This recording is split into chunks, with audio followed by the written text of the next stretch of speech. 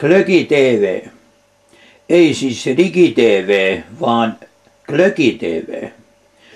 Suunnitellessani aikanaan 50-vuotissynttäreittäni tuli mieleeni, että jotain ammattiini viittaavaa pitäisi saada mukaan.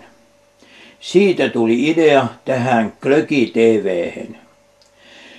Valitsin tietenkin laitteeksi Saloran, poistin siitä koneiston ja irrotin kuvaputken, josta varovasti hakkasin ja irrotin palasia siten, että vain ulospäin näkyvä kuvaruutu jäi ehjäksi. Poistin sen sisäpinnasta valoa emitoivan alueen, johon sitten tyttäreni maalasi näkyvän kuvan.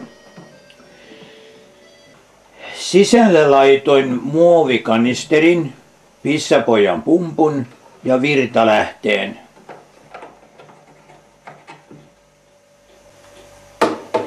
Sitten kokeillaan.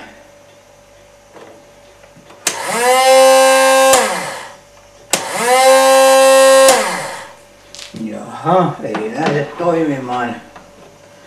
Tämä on ilmeisesti pohja. Pohjaventtiili on, on varmaan sitten, joo se oli ihan jumissa. Nyt ainakin ilma menee.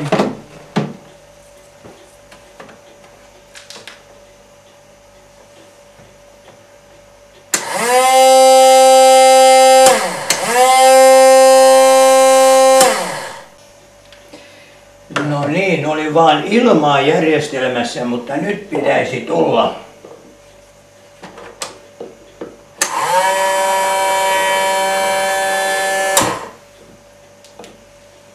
No niin, täyteen tuli. Sitten käännetään laite ja näytetään toiselta puolelta. Myös TVn verkkokytkemen muutin siten toimivaksi, että sitä painaessa neste juoksee ulos kaiuttimen paikassa olevasta letkusta.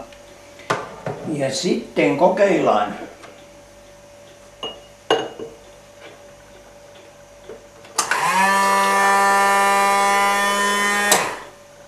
Siinäpä se.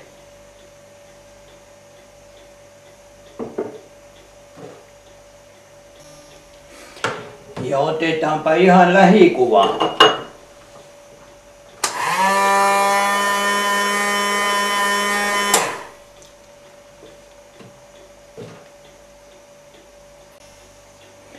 On tässä vielä tämä säätöpaneelikin paikalla.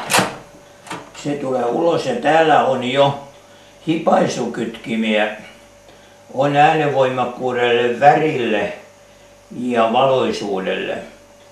Ja sitten on myös, täältä saadaan kone päälle ja pois ja, ja sitten semmoinen normaali säätö päälle.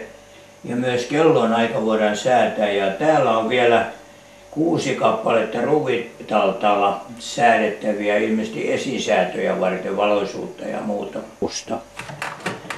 Tässä esittelen laitteen toimintaa juhlassani Paattisten aluetalolla. Joskus myöhemmin oli työpaikkani sähköosaston kokous eren työkaverin mökillä. Hän kertoi aluksi illan ohjelmasta. Mainitin, että sitten mennään katsomaan Raimon autossa olevaa TVtä.